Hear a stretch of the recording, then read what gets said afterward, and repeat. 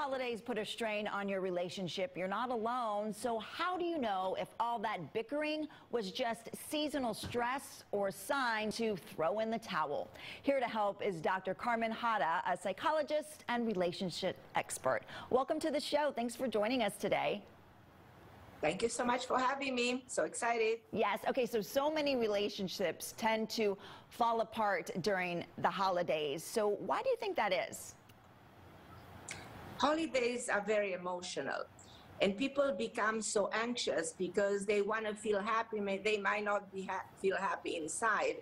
So reality is that uh, all this anxiety all this stress is causing uh, a lot of arguing and uh, uh is putting that pressure on on a couple. So people start to uh, disagree and it's very easy for a relationship to fall apart during this uh, time of the year which is the best time of the year and we should actually celebrate relationship and celebrate the idea of family and project things for the future and strike a better conversation and improve and heal. So um, that will be the, the, the, the, best way to handle relationship and not uh, destroy what we've been building for years.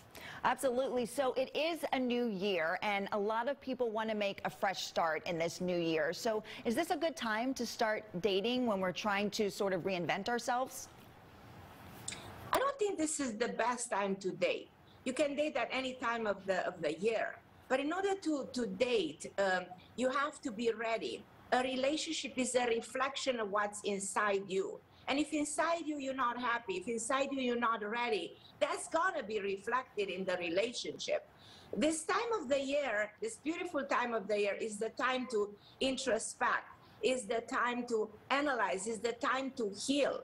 So you have to look inside yourself and ask yourself, do I still harbor negativity from my ex?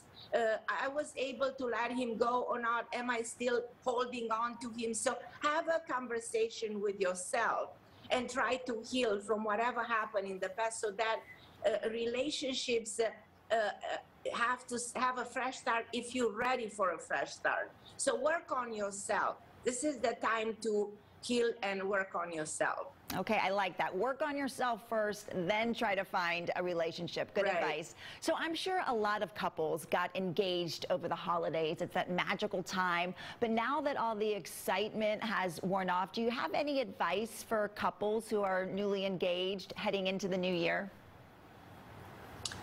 Well, you have to ask yourself, am I in good standing? Because this time of their being emotional, everybody will say yes. If you propose during this time of the year, uh, it's going to be a yes, but then you're going to ha- have a second thought.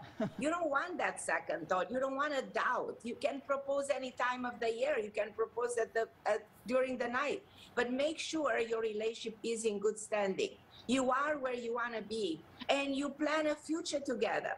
And as I said, make sure you are already healed. When you propose, you know exactly what you want, and your relationship is in good standing.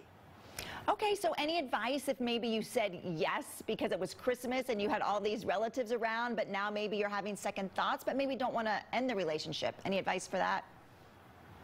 Well, and again, you have to revisit, you have to have that you know, deep conversation with yourself, become an adult and ask yourself, is it what I really want right now?